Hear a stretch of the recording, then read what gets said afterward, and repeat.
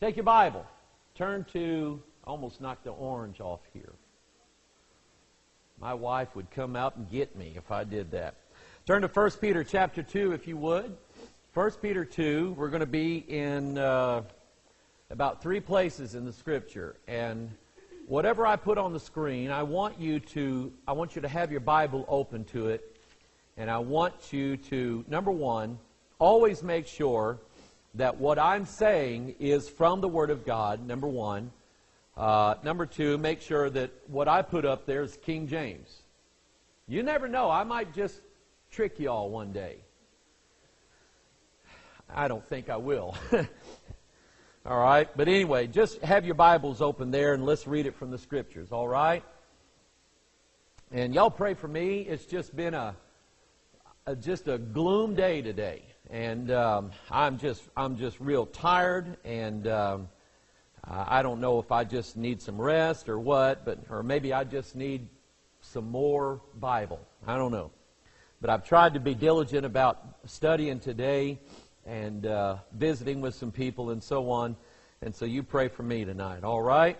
First Peter chapter 2. Pray and pray for the families in New York. Okay? New York City that lost eight people died yesterday because some idiot in a false, stupid religion that has no business being in our country. Okay, I don't care if it's four of you here tonight. Amen. That religion has no business in our country. This is a free country. And yes, people can practice whatever religion they want. But if you want to come over here and practice that style of it, you can just go back to wherever you came from and leave us alone. If you think that your God is so great that he has to convert people at the point of a gun, you're an idiot. Amen? 1 Peter chapter 2. I might just end up being mean tonight, and that's about it. 1 Peter chapter 2, verse 11. Dearly beloved, I beseech you as strangers and pilgrims. Why is he saying that? In that because uh, 1 Peter chapter 2. We have a we are born again, we are citizens of heaven, and yet we are also called to be citizens here on this earth. So we are strangers in that we are estranged from this world. We're going to leave this world one of these days. We are pilgrims in that we are seeking a better country than what we have down here. If we lose what we have down here, we still can gain heaven. Amen? I beseech you as strangers and pilgrims. Number one, abstain from fleshly lust which war against the soul. Very important. The lust of the flesh and the lust of the eyes and the pride of life, they are warring against your soul and they seek to, dis- your flesh is going to kill your soul. So your choice is either your flesh kills your soul or your soul, being right with God, crucifies the flesh. Amen? So abstain from fleshly lusts which war against the soul. And then verse 12. Having your conversation honest among the Gentiles. That's very simple. It means that as we are down here on this earth, make sure that what everybody knows about you is that you are a child of God and that when you deal with people down here, you deal with them honestly. People are, lost people are tired of church people taking advantage of them, church people lying to them, church people not being honest with them, or church people thinking that they're better than they are, or whatever. And, and he says, abstain from those fleshly lusts and have your conversation honest among the Gentiles, that whereas they speak against you as evildoers, they may, by your good works, which they shall behold, glorify God in the day of visitation. So, you can't always stop people from saying things about you, especially nowadays in the online world. Um, somebody told me the other day, Pastor, there's, there's a guy out there, he said something about you in a video, and, and I'm going, okay. Well, you know, you, you know, we ought to know what he said. I said, well, I don't really care what he said. Okay? Here's the thing. If he's right about me, then he should say something. if I'm wrong in something and somebody picked up on that and he's right about it, then he should say something. If he's wrong about what he said about me, or if he's wrong about the issue, then it's not going to hurt me what he says because all people have to do is come back and listen to what I said and then they can decide who's right and who's wrong. Amen? And I found out in the online world there is no such thing as bad publicity. I found it out. And I've told this story before, but a lady wrote me and said that somebody was making a big noise about Mike Hoggard online, and she was watching this video called Mike Hoggard Exposed. Mike Hoggard Exposed. We're going to expose Mike Hoggard. So she watched it. She's going, I wonder who this Mike Hoggard is. Sounds bad. So she went and watched some videos by me. And she said, Okay, I think I get who now is the heretic here. And they've been watching this ever since. And so I have tried to build over the years a reputation. A reputation that if I say it, it is from the Word of God. Now, a lot of people make that claim, a lot of people make that boast, and so on, and everybody's got their opinion about everything in the world, and they express that online. But when it comes to the things that come out of this church or things that I say, I try to make sure that what I'm saying is as close to the Word of God as anybody can possibly be. Give more of the Bible and less of the speaker. That's, that's our motto. That's how we run here. And if people are going to say things about me or people are going to say things about this church, on which really, if they say things about me, that's one thing I usually let it go. When they start saying stuff about you guys, that's when I come unglued. Because, number one, you're my friends and you're my family. And I don't let people attack the people of this church and call you guys names, which they have. When they do that, that's when I sort of take exception to it. Amen? But I figured the same thing rule applies to you as it does to me. All they have to do is monitor us and watch us and watch our works, and what we do will manifest who's right and who's wrong. Amen? So while they speak against us, at some point they are going to be ashamed at what they either we're going to be ashamed because of what we did or they are going to be ashamed because of what they said in the day of visitation. You know what day that is? That's when the Lord appears in the air. And I've got it figured that when the Lord appears, either we are going to be in the air with Him, and they're going to be embarrassed because they're going to be going, Gulp, how come we're not going up? Or they're ones who were right all along, and we're going to be going, uh, we should have followed them instead of Mike Hoggard. I hope that you follow the word. Amen? Now, watch this. Verse 13. Here we go. This is where it's going to get interesting. Verse 13. Submit yourselves to every ordinance of man for the Lord's sake, whether it be to the king as supreme, or unto governors as unto them that are sent by him for the punishment of evildoers, and for the praise of them that do well. For so is the will of God that with well doing you may put to silence the ignorance of foolish men, as free, and not using your liberty for a cloak of maliciousness, but as the servants of God. Honor all men, love the brotherhood, fear God, honor the king. Servants, be subject to your masters with all fear, not only to the good and gentle, but also to the froward.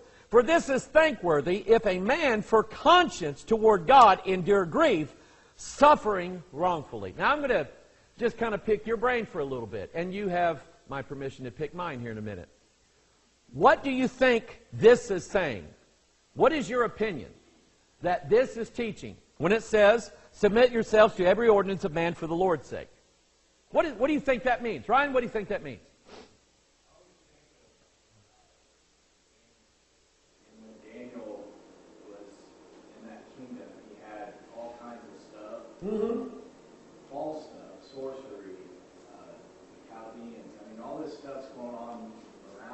Right.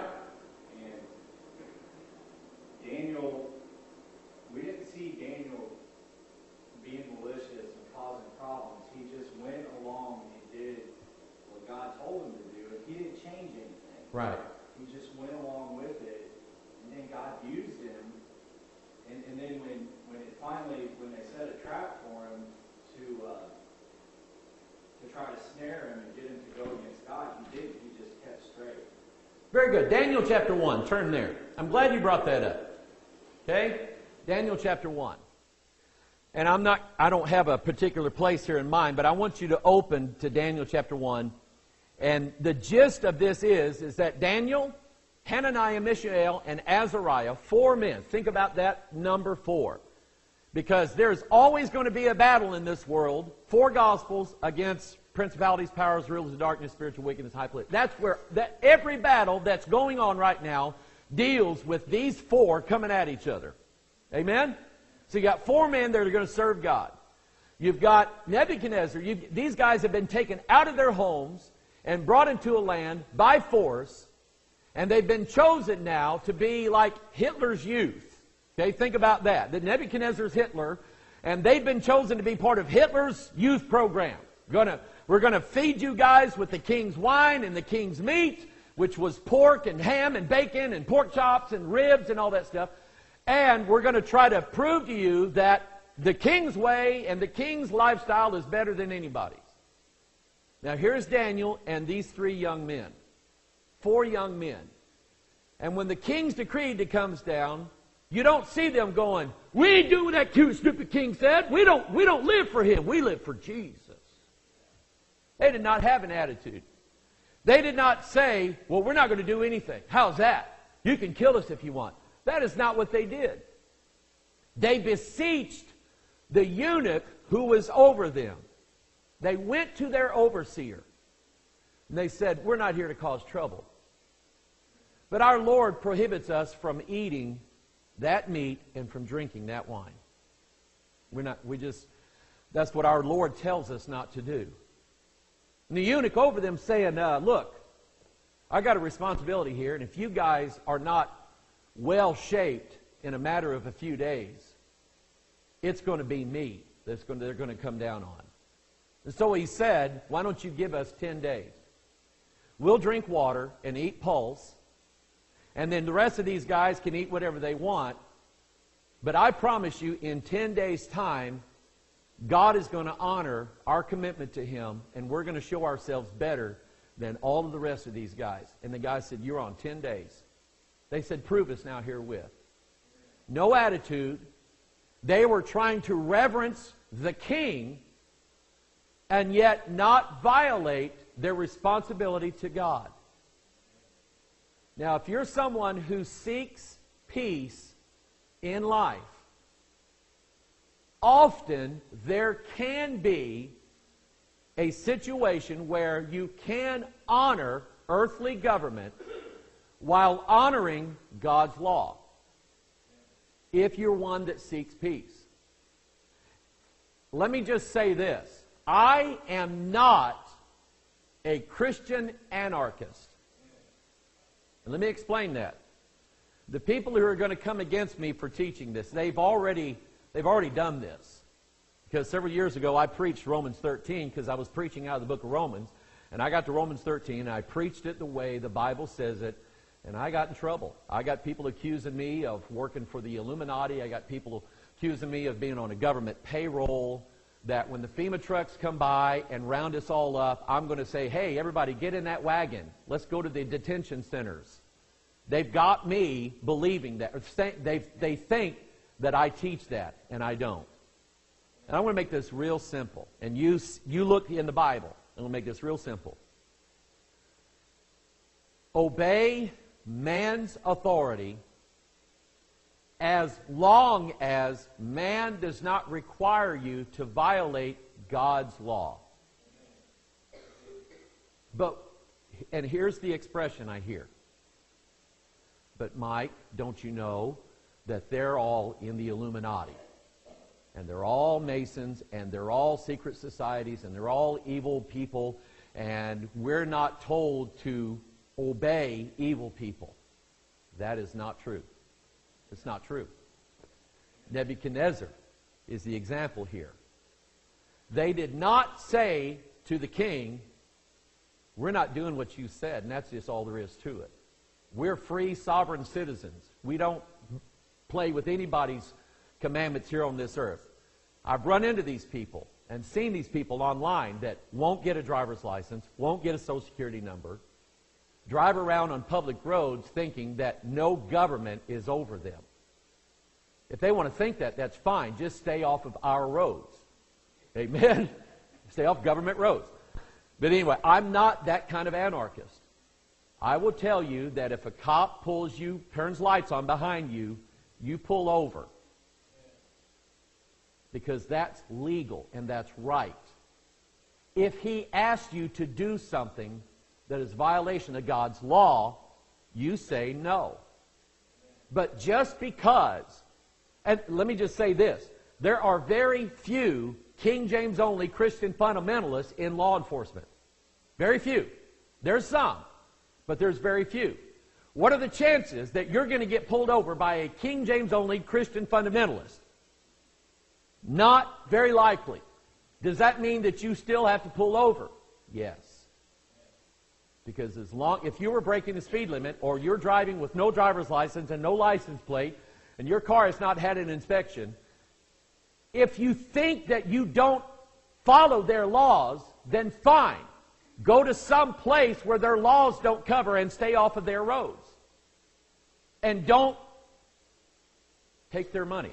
Anyway, uh, Daniel is the example here. In Daniel, let's see here. Daniel chapter, what was it? Where was it that they made the agreement? The guys were spying on Daniel, and they saw him pray three times a day. Daniel 6. Daniel chapter 6. They spied on Daniel. They didn't like him because Daniel was exalted above them. And they said, We're going to get rid of him. So they watched Daniel pray three times a day. And they went to the king and they said, King, there's people in your, in your rule and reign that are bowing to other gods other than your gods. Why don't you make a decree that says anybody praying to any other god other than the God of the king gets thrown into the lion's den. The king said it's a good idea. So he wrote it in the law of the Medes and Persians, which means it cannot be altered even by the king. And so they wait. Daniel knows this law is in effect. What does Daniel choose to do? Daniel does what he does every day. He opened his window, and right in front of the window, he bows and he prays to his God three times a day, just like he always did. Now, he's not waving a, a banner that says, Don't tread on me. Okay? He's not trying he's he's not trying to play anarchy here. Anarchy means nobody rules you. Okay? Nobody, no government rules over you. That's an anarchist. That is also one of the foundational principles of Wicca. Wicca has 13 rules. Imagine that. Rule number six is we recognize no earthly hierarchical authority. In other words, Wiccans recognize that nobody tells them what to do. Rebellion is as the sin of witchcraft. Okay? And stubbornness is idolatry. And there's people out there who are both rebellious and stubborn in that they think that because they quote unquote live for God, that that excuses them from living under man's laws. And it doesn't. Show me the scripture that says that. And I'm showing you 1 Peter chapter 2, verse 13, submit yourselves to every ordinance of man for whose sake? For the Lord's sake. Whether it be to the king as supreme, or unto governors as unto them that are sent by him for the punishment of evildoers. You know who that is, don't you? That's the cops and the, and the, the people who bear the sword. And for the praise of them that do well. For so is the will of God, that with well doing you may put to silence the ignorance of foolish men, as free and not using your liberty for a cloak of maliciousness. And let me say this some of the very people who don't want the government monitoring everything they do are the people who are breaking the laws, especially online laws. And they think that because they say God every now and then and they, they talk about a Bible every now and then that they don't have to obey man's rules. And they don't want the government monitoring them. The reason why is they're breaking laws online. And they're going to be the fiercest opponents out there. They're the ones who want to download movies and music and stuff like that illegally, and they don't want the government to know they're doing it. Okay? That's who that is. Or worse, downloading worse things on the internet, and they don't want the government to know about it. Those are the ones who are going to be the most vocal about all these online laws and online issues and things like that.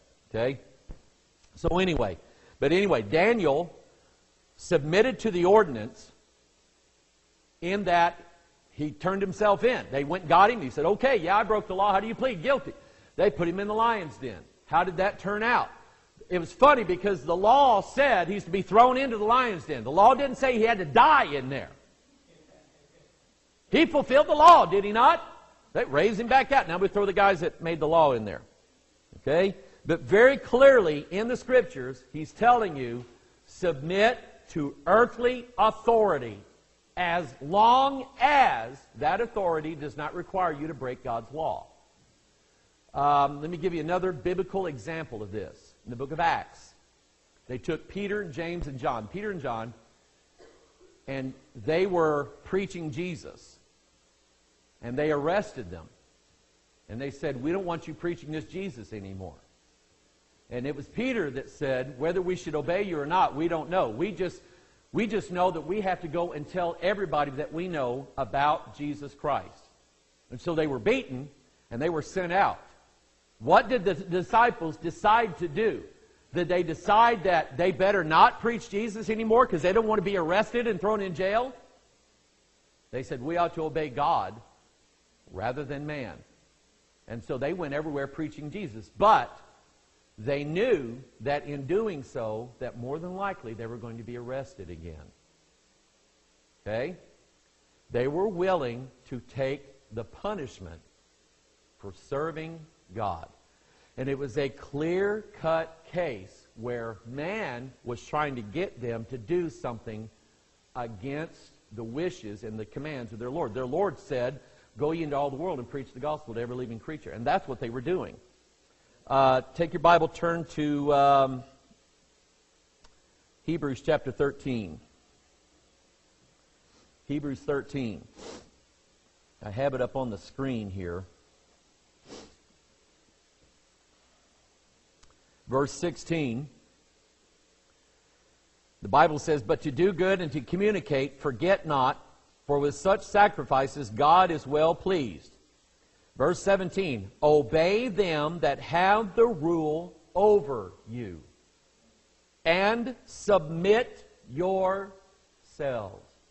Now, again, there, is, there are people who have an anarchist ideology. And it's not just government, it's even in the workplace. They are rebellious and unruly people. They think that any law, by any law that's managed by a lost person, they don't have to follow.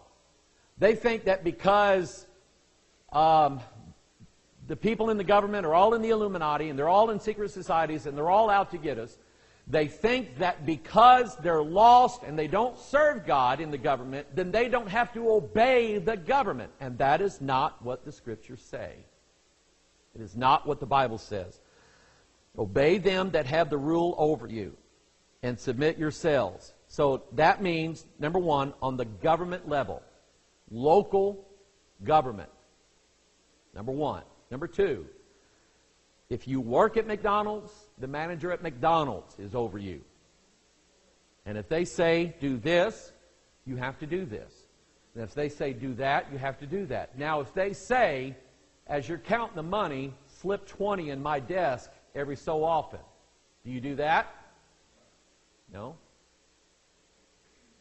If they say, hey, you're nice looking, baby, you don't have to obey that one either.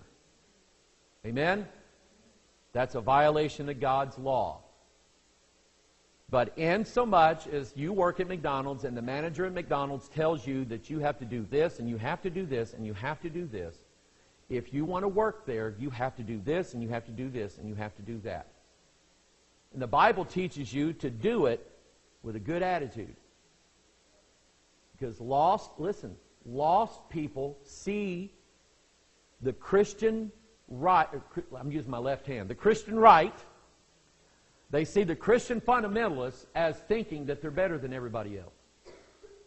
The Baptists and the Pentecostals and everybody, they think they're better than everybody else, and they think that because they go to church twice a week, that they can get by with everything that everybody else has to be under. And it's not true.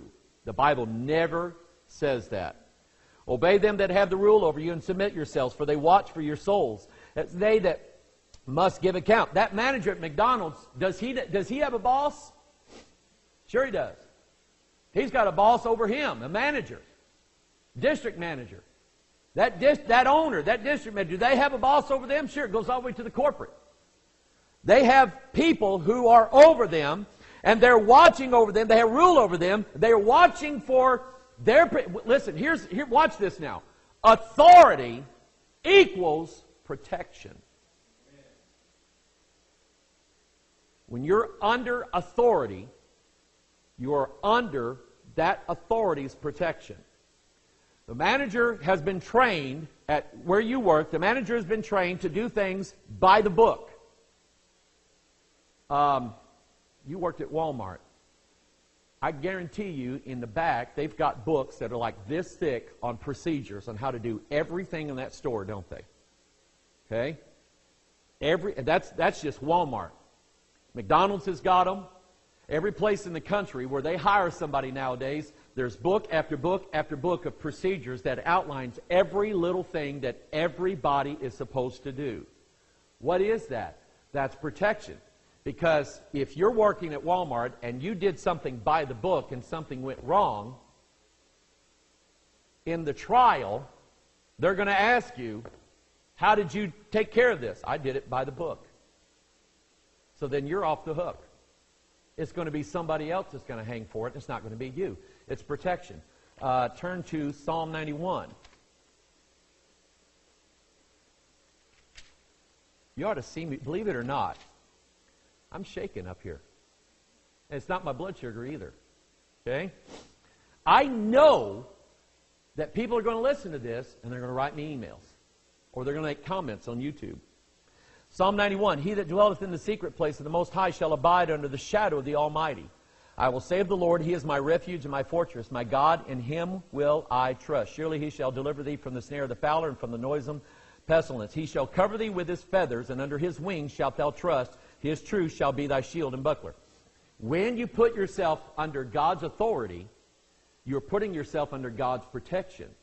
God will protect you. God will cover you. He'll take His wings like a, like a bird, and He'll cover you, and He'll protect you, and He will keep you safe from anybody that's trying to get to you. If you climb out of that protection, out of that authority, you're on your own. Okay? You are on your own. You're exposing yourselves to the wolves and to everything else that wants to get at you. When you place yourself under authority, you're putting yourself under protection. Back here in Hebrews 13, Submit yourselves, for they watch for your souls, as they that must give account, that they may do it with joy and not with grief, for that is unprofitable for you. Even, I, I think it was Paul that wrote Hebrews, even Hebrews is telling you, in the business context, that when you follow the rules and the guidelines, it's profitable to you. Amen? Follow the rules. Do what you're told in so long as it doesn't violate God's will. 1 Timothy chapter 2, turn there. 1 Timothy chapter 2.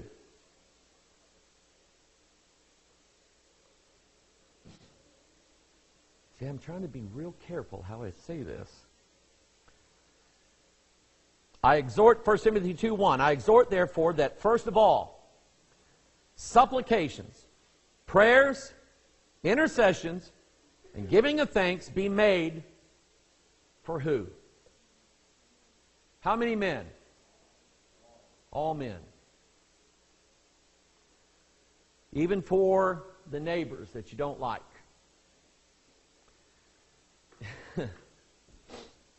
even for the neighbor that steals your Wi Fi. My neighbor figured out my Wi Fi password and stole, and I know it because we were on a limited plan, and in one night he used all of it. And I had it figured it was the kid up the street. He needs Jesus. Amen? Prayers, supplications, intercessions, giving you thanks be made for all men. Number t- verse 2 for kings and for all that are in authority, that we may lead a quiet and peaceable life in all godliness and honesty. Now, let me say this. I am very thankful that nobody tried to kill Barack Obama while he was in office. That would have started World War III right here in America. I would like to live a quiet and peaceable life. I would like to be at peace with every man. In as much as we're able to be, I would like to be at peace with people. I would like to be at peace with YouTube.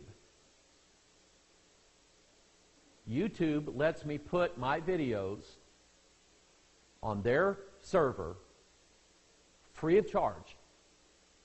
No money, but they have a set of rules that I have to follow. And the people, have you ever seen somebody say, I got kicked off of YouTube for what I'm saying? Have you ever seen people like that? They didn't get kicked off of YouTube for what they They got kicked off YouTube because they were using copyrighted stuff. They're violating YouTube's rules. But they want you to think that their message was so big and powerful and against the Illuminati that YouTube got scared and kicked them off. Don't, don't fall for it. Okay?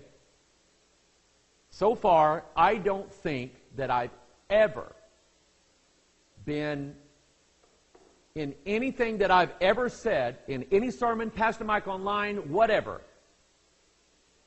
I don't think there's been one time that YouTube said, you know what? all your stuff, Mike Hoggard, we don't want that out there, so we're going to kick you off. They've never done that. I started following the rules. If you remember, when I was doing Pastor Mike Online, I was playing like uh, Southern gospel songs, and then to start to end the program, I was playing the theme from the Blob. You remember those days? I quit doing that. I quit doing that. I bought some music online and got a license, and I have the license to play that music now. But if I was playing the blob theme, YouTube flags it. And if I keep doing it, they kick me off. So which is important to me? To play the blob theme at the end of my show or to have the freedom to say what I want to say on my show? That's what's important to me. Not the fact that I can't play this copyrighted music. Okay? So I quit doing it. Why? Facebook the same way. Facebook when we stream our service on Facebook, they keep the whole service on there. As long as we're just singing, congregationally singing, and not playing copyrighted music that's owned by somebody else. YouTube even flat, you know when I played with Southern Raised, their Beethoven's Fifth Symphony? Okay, YouTube flagged it. And I, and I, I did write back and I said, uh, excuse me, uh, the reason why that's on there, if you'll look at it, it's me playing with the people who own the music. They gave me the permission to sit up there and play with them. Deal with it. Okay, I haven't heard back on them from that, but anyway, there are some people out there who are just disobedient. And it doesn't matter what rule it is, they're going to break it, and they're going to think that God gave them an unction to break these rules, and that's not true. So he says, Pray for kings and for all that are in authority, that we may lead a quiet and peaceable life in all godliness and honesty. For this is good and acceptable in the sight of God our Savior, who will have all men to be saved and to come into the knowledge of the truth. Which is more important to us? Starting a revolution? Starting a Second Amendment fight back? Or leading people to Jesus? That's what that says. Now, I also take the position that this government is not going to haul off and try to confiscate our weapons without a fight. I don't have to promote the fight. The fight's coming because the people in this country are not going to yield over their weapons, their arms. It's not going to happen. Amen? Okay? So I don't, I don't have to just all the time promote and try to, like Alex Jones, try to get people to start a fight. He's trying to pick a fight. Okay? It's the way I see him. I, don't, I may be wrong, but that's the way I see him. What's more important to me is the gospel going out and people being saved by the Word of God. So I'll follow the rules. I'll do what YouTube tells me to do, but th- so far I have not seen anything on YouTube that says I can't say what this Bible says. There is no rule against that. There's not a rule against that on Facebook. There's not a rule against that on YouTube. There's not a rule against that on sermon audio, thank God. Okay? There's not a rule against that right now, per se, on the internet. I can preach what this book says and do it as often as I want to, and so far, no repercussions. Okay? So I play by the rules because I want a quiet and peaceable life. I want to keep doing what it is that I'm doing. Do not misread into my words here. This is for you people. Do not misread into my words that I think we ought to just lay down and let the world just roll all over the top of us. Because I don't believe that. When it comes time to take a stand for this, I'll take that stand. Because that's what's important to me. Amen? I've got more on this. We're going to we're going to get into Romans 13 and so on. But I'm going to I'm going to ask you the question before we leave. I'm going to ask you the question, okay? Did Moses lead a rebellion against Pharaoh? Okay? Now, I didn't say answer it today.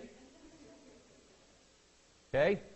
Since you did, smart boy, you're going to tell us next Wednesday why you said that. Okay? With Scripture. Okay? Make sure he does his homework. Okay?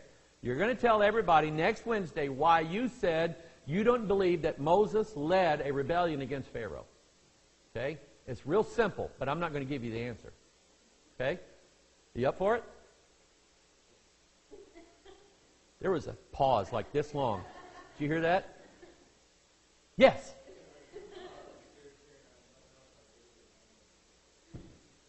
Stand to your feet. Don't rebel against me. I said, stand to your feet. Don't be rebellious.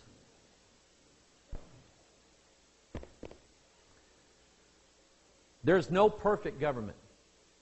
Not on this earth. There is no perfect government on this earth. To this date, the Constitution of the United States is still the best government in the world. To this date, it still is. And I have nothing but thanksgiving for, allow, for God allowing me to be raised and live in this country. I don't want a war to start in this country. I want people to be able to settle some of these disagreements in a proper manner. But just know that there's always going to be people out there who are going to try to stir everybody against everybody else. They want to fight, they want a war. I don't want that. Okay? But when it comes to what this Bible says, I'm not going to lay down either. Father in heaven, we thank you, Lord, for meeting with us tonight. We thank you, Lord, for your word. This Bible says things the right way. And its words must be heeded, must be listened to, must be adhered to, must be applied. This Bible is in authority over me. This Bible is in authority over the people of this church. This Bible is in authority over America. Even if most of America doesn't want to recognize it, this Bible is really in charge. It was this Bible that many of our founding fathers based their ideas on. And Father, I thank you for allowing me to live in this country. I thank you, Lord, for freedom. I thank you, Lord, for liberty.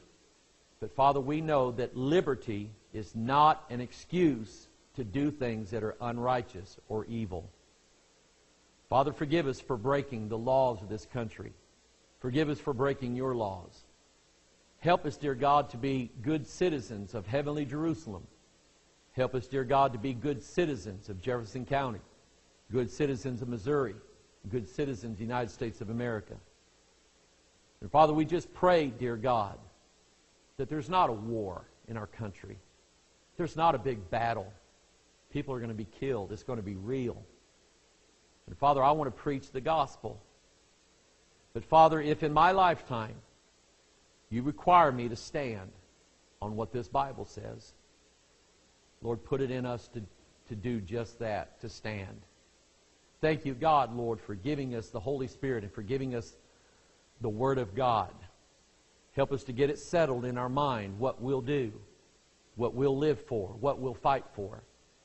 Thank you, Lord, for this book. Settles all the arguments. Thank you for it in Jesus' name. And all of God's people said, Amen. God bless you. You're dismissed.